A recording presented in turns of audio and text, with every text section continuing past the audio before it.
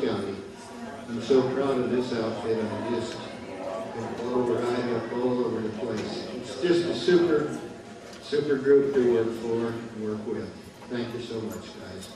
Now, we're going to sing God Bless America. And we'd like all of you to join in. We're going to sing it two times, and we want them to hear us, ladies and gentlemen. And by the way, thank you for being such a great audience.